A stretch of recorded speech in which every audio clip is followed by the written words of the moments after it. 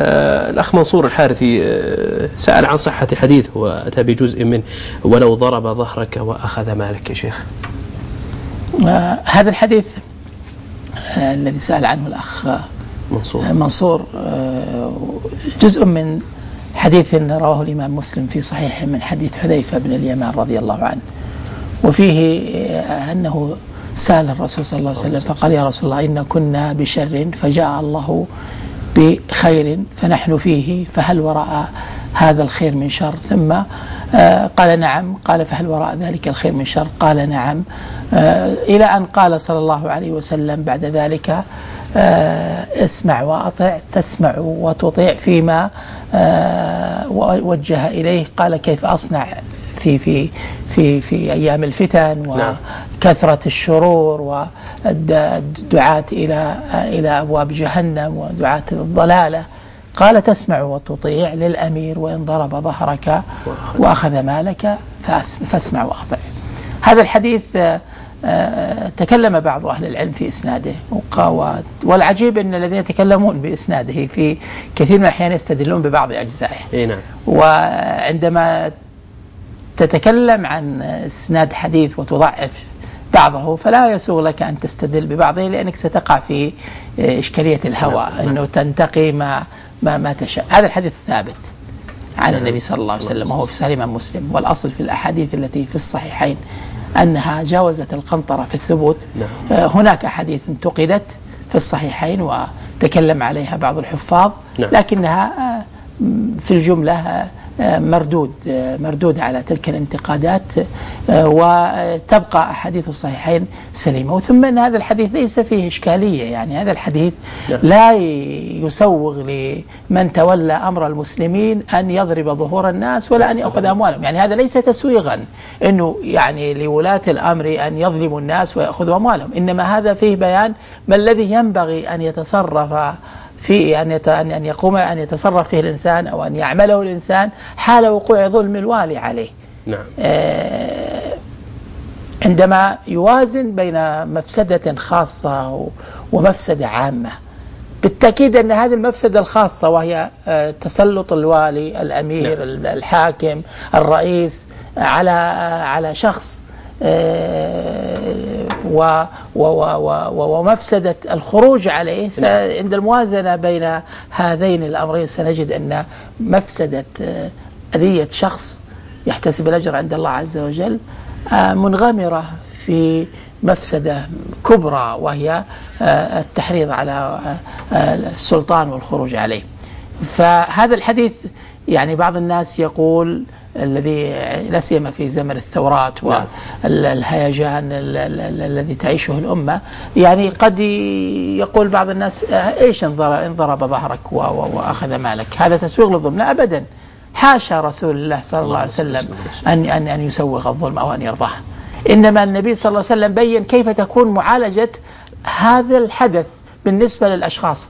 يعني السمع والطاعة ليس المقصود أن تسمع وتطيع في في في في محرم. لكن قصور السلطان وظلمه في بعض الأعمال لا يسوغ الخروج عليه وإفساد النظام العام. هذا المقصود بقوله صلى الله عليه وسلم آه تسمع وتطيع وإن ضرب ظهرك وأخذ مالك فاسمع وأطع. كرر النبي صلى الله عليه وسلم التوجيه قال فاسمع وأطع ابتداء في ابتداء الحديث وفي منتهى وفي منتهى وفي ابتداء التوجيه وفي منتهى التأكيد للسمع والطاعة. والسمع والطاعة إنما تكون فيما في المعروف فإنه لا طاعة لمخلوق في معصية الخالق كما جاء في الصحيح من حديث علي رضي الله عنه.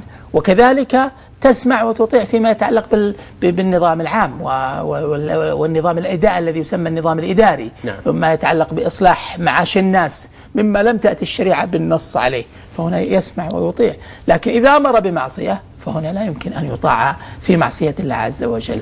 ومنه أن أن أن أن أن أن, أن, أن يوقع ظلما ويأمر أحدا بأن يوقع الظلم أو أن يأمر بظلم ويؤمر يأمر أحدا أن يوقع بالظلم أن يوقع الظلم بغيره فهنا لا لا يطاع في هذا الأمر.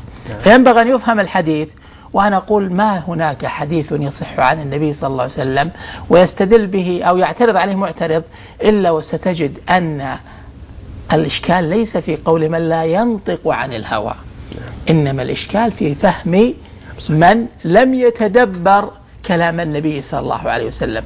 فالنبي قال هذا آه، في ظرف تكثر فيه الفتن نعم. تكثر فيه الشرور تكثر فيه الضلالات يكثر فيه دعاة الباطل عند ذلك المحافظة على الجماعة وهذا عقلا قبل أن يكون شيئا شرعيا عقلا العقل يدل عليه ويرى أنه هذا هو المصلحة.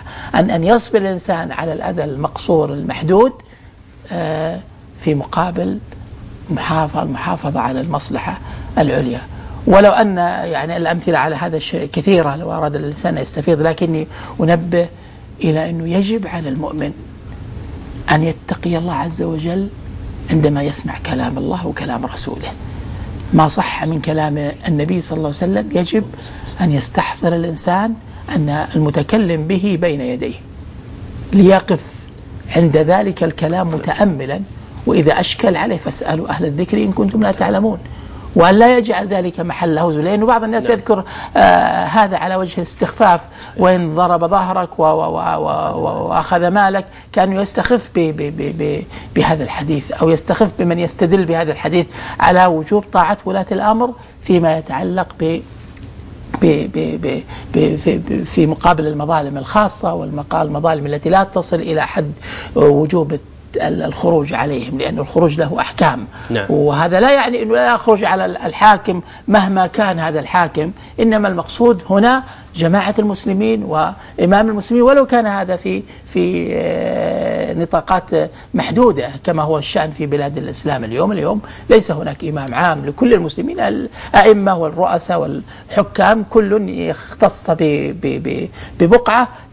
لا يمكن أن يتحقق تلك الأحاديث إلا بتحقيق آه، هذا في آه، تلك الولاية. إذا كانت ولاية تحقق المقاصد الشرعية وترعى تحكيم كتاب الله وسنة رسوله. المقصود نحتاج إلى أنات في فهم كلام من لا. ينطق عن الهوى.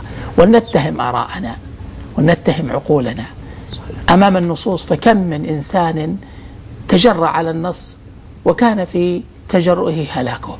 هذا لا يعني ألا نتأمل أو ألا نورد نوع من الاستفهام على ما ما لم نفهم. لكن فرق بين من يستعلم ويستفهم نعم. وبين من يعترض ويتحكم. أحسن الله إليكم وجزاكم خيرا شيخ.